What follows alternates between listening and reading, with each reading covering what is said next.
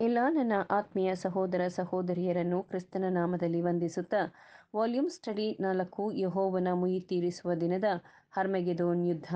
ಅಧ್ಯಾಯ ಎರಡು, ಬ್ಯಾಬಿಲೋನಿನ ಅಂತಿಮ ತೀರ್ಪು, ಪುಟ ಹದಿನೈದು. ಅಪೋಸ್ತಲಿಕ್ ಉತ್ತರಾಧಿಕಾರ ಮತ್ತು ಪೌರೋಹಿತ್ಯ ಅಧಿಕಾರದ ಹಕ್ಕುಗಳನ್ನು ಬಹುತೇಕ ಅಹಂಕಾರದಿಂದ ಕೆಲವು ಪ್ರತಿಭಟನಾ ಪಾದ್ರಿಗಳು ಪೋಪರ ಪುರೋಹಿತಶಾಹಿಗಳಂತೆ ಮಂಡಿಸಿದ್ದಾರೆ. ವ್ಯಕ್ತಿಗತ ಖಾಸಗಿ ತೀರ್ಪು, ಪೋಪನ ಅಧಿಕಾರದ ವಿರುದ್ಧವಾದ ಮಹಾ ಸುಧಾರಣೆಗೆ ಕಾರಣವಾಗಿದ್ದ ಮೂಲಭೂತವಾದ ಹಕ್ಕನ್ನು ಈಗ ಬಹುಮಟ್ಟಿಗೆ ಪೋಪಿನವರಂತೆ ಪ್ರೊಟೆಸ್ಟೆಂಟರೇ ಪರಿಶ್ರಮ ಪೂರ್ವಕವಾಗಿ ವಿರೋಧಿಸುತ್ತಿದ್ದಾರೆ. ಆದಾಗ್ಯೂ ಪ್ರೊ, ಪ್ರೊಟೆಸ್ಟೆಂಟರು ಇದು ಖಾಸಗಿ ತೀರ್ಪನ್ನು ಚಲಾಯಿಸುವ ಹಕ್ಕೆಂದು, ಅದು ಖಾಸಗಿ ತೀರ್ಪಿನ ಹಕ್ಕಿನ ಅಭ್ಯಾಸದಲ್ಲಿ ಸುಧಾರಣೆಯನ್ನು ಪ್ರಾರಂಭಿಸಲಾಯಿತು ಮತ್ತು ಸ್ವಲ್ಪ ಸಮಯದವರೆಗೆ ಮುಂದುವರಿಯಿತು ಎಂದು ಪ್ರತಿಭಟನಾಕಾರರು ಸಂಪೂರ್ಣವಾಗಿ ತಿಳಿದಿದ್ದಾರೆ. ಆದಾಗ್ಯೂ, ನಂತರದ ಮಾನ್ಯತೆ ಪಡೆದ ನಾಯಕರ ಅಹಂಕಾರದ ಪ್ರಾಬಲ್ಯವು ಪ್ರಗತಿಯ ಚಕ್ರಗಳನ್ನು ಹಿಮ್ಮೆಟ್ಟಿಸಿತು ಮತ್ತು ಅಂದಿನಿಂದ ಅವುಗಳನ್ನು ಕಟ್ಟುನಿಟ್ಟಾಗಿ ಸಾಂಪ್ರದಾಯಿಕ ರೇಖೆಗಳೊಳಗೆ ಇರಿಸಿದರು. ಮತ್ತು ನಿರ್ಭಯವಾಗಿ ಅವುಗಳನ್ನು ಮೀರಿ ಹೆಜ್ಜೆ ಹಾಕಿ ಎಲ್ಲರ ಮೇಲೆ ನಿಷೇಧವನ್ನು ಹಾಕಿದರು.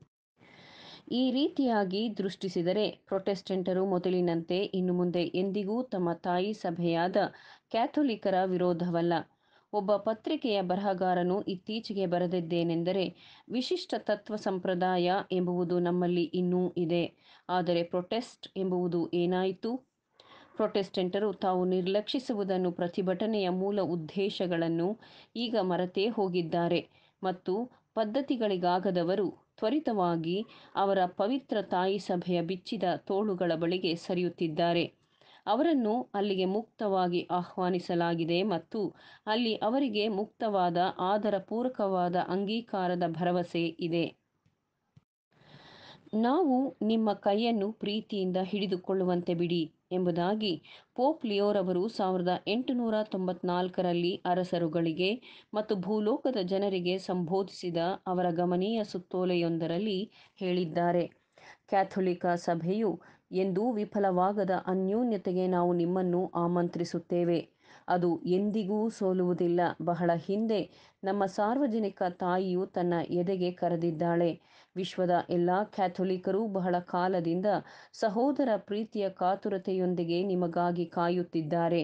ನಮ್ಮ ಹೃದಯವು ನಮ್ಮ ಧ್ವನಿಗಿಂತಲೂ ಇನ್ನೂ ಹೆಚ್ಚಾಗಿ ನಿಮ್ಮನ್ನು ಪ್ರಿಯ ಸಹೋದರರೇ ಎಂದು ಕರೆಯುತ್ತದೆ.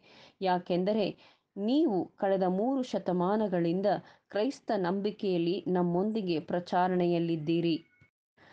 ಪುನಃ ಅಮೆರಿಕಾದ ರೋಮನ್ ಸಭೆಗೆ ಬಿಡುಗಡೆಗೊಳಿಸಿದ ಆತನ ಮತ್ತೊಂದು ಸುತ್ತೋಲೆಯಲ್ಲಿ ಸಾವಿರದ ಎಂಟುನೂರ ತೊಂಬತ್ತೈದರಲ್ಲಿ ಪೋಪ್ ಲಿಯೋರವರು ನಮ್ಮ ಆಲೋಚನೆಗಳು ಕ್ರೈಸ್ತ ವಿಶ್ವಾಸದ ವಿಷಯಗಳಲ್ಲಿ ಮತಭೇದಗೊಂಡಿದ್ದವರ ಕಡೆಗೆ ತಿರುಗಿದೆ.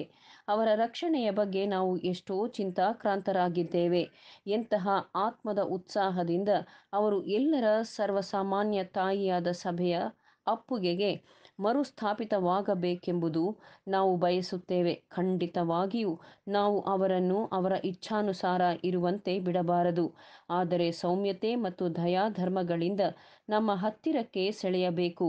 ಅವರು ಕ್ಯಾಥೊಲಿಕ್ ಸಿದ್ಧಾಂತದ ಎಲ್ಲ ಭಾಗಗಳನ್ನು ನಿಕಟವಾಗಿ ಪರೀಕ್ಷಿಸಲು ಪ್ರೇರೇಪಿಸುವ ಎಲ್ಲ ಮನ ಒಲಿಸುವಿಕೆಗಳನ್ನೂ ಉಪಯೋಗಿಸಬೇಕು ಮತ್ತು ಅವರನ್ನು ಮೊದಲೇ ಅಭಿಪ್ರಾಯ ಮಾಡಿಕೊಂಡಿರುವ ಕಲ್ಪನೆಗಳಿಂದ ಮುಕ್ತಿಗೊಳಿಸಬೇಕು ಎಂದು ಹೇಳಿದ್ದಾರೆ. ಮತ್ತು ಆಂಗ್ಲ ಜನರಿಗಾಗಿ ಬರೆದ ಆತನ ಅಪೋಸ್ತಲಿಕ ಪತ್ರದಲ್ಲಿ ಸಾವಿರದ ಎಂಟುನೂರ ತೊಂಬತ್ತೈದರಲ್ಲಿ ಅವರು ಮುಂದಣ ಪ್ರಾರ್ಥನೆಯನ್ನು ಉಚ್ಚರಿಸಿದ್ದಾರೆ. ಹೋ, ಆಶೀರ್ವದಿತ ಕನ್ಯಾ ಮರಿಯಳೆ, ದೇವರ ತಾಯಿಯೇ ಮತ್ತು ನಮ್ಮ ಅತ್ಯಂತ ಸೌಮ್ಯದ ರಾಣಿ ಮತ್ತು ತಾಯಿಯೇ, ಇಂಗ್ಲೆಂಡಿನ ಮೇಲೆ ಕರುಣೆಯಿಂದ ದೃಷ್ಟಿಸು. ಓ, ದುಃಖಭರಿತ ತಾಯಿಯೇ, ನಮ್ಮಿಂದ ಪ್ರತ್ಯೇಕಗೊಂಡಿರುವ ಸಹೋದರರ ಬಗ್ಗೆ ಮಧ್ಯಸ್ಥಿಕೆ ವಹಿಸು.